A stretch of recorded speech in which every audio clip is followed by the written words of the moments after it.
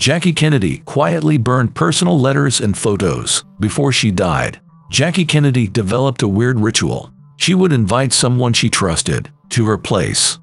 Then she'd read letters from her kids, JFK, Aristotle Onassis, and whatnot. And then she'd burn the letters. This has been revealed in her new biography. The book is titled Jackie, Public, Private, Secret. In the final months of her life, Jackie reunited with an old flame. Architect John Warnecke sent her a Valentine's note. His sincere words led to a secret meeting. It took place at Jackie's New York apartment. Warnecke arrived to find the rooms dimly lit. And there she was, Jackie, seated near the fireplace in her pajamas. She had one request, to keep their meeting a secret, as long as they lived. Warnecke honored his promise. In 1998, he had shared the details with a biographer. He requested that the biography wait 10 years after his death. Warnecke passed away at 91 in 2010. Now, readers finally know what happened that night. As Warnecke took his seat, Jackie handed him a bundle of letters. It was her ritual. Warnecke said, Every night that week, she was inviting a trusted friend or family member to her home to take part in it.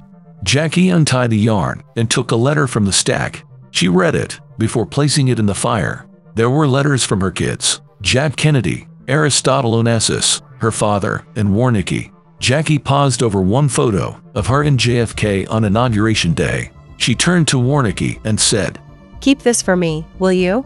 Letter by letter, she burned her history. Jackie passed away from non-Hodgkin lymphoma in 1994, but some of her writings managed to survive. Among them were handwritten dinner menus. They were meant for Chef Tanya Herbst. Many of the menus are written in French. In them, Jackie uses endearing names for JFK. She calls him Mr. K or Monsieur. One of the menus reads, Mr. K can eat nothing fried, he likes all these creamed foods. So just give me a salad, plus raw fruit in place of his desserts, plus vegetables. These notes were auctioned off in the summer of 2023. There were also surviving letters between Jackie and Father Joseph Leonard. Jackie wrote to him from 1950 to 1964. In the letters, Jackie expressed her feelings. She wrote about meeting and marrying JFK. She worried he'd be unfaithful like her dad. Later she shared her grief over JFK's death the early letters also said something else. They described Jackie's happy visits to Ireland.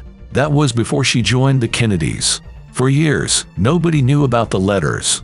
They had been preserved at All Hallows College in Ireland. In 2014, the priests announced an auction. They decided to sell Jackie's notes. They could have fetched as much as $5 million, but the auction never took place. Ethel, Robert Kennedy's widow, thought the letters were too private. She proposed a different solution, burning them, just like all the others. The fate of those letters remains uncertain.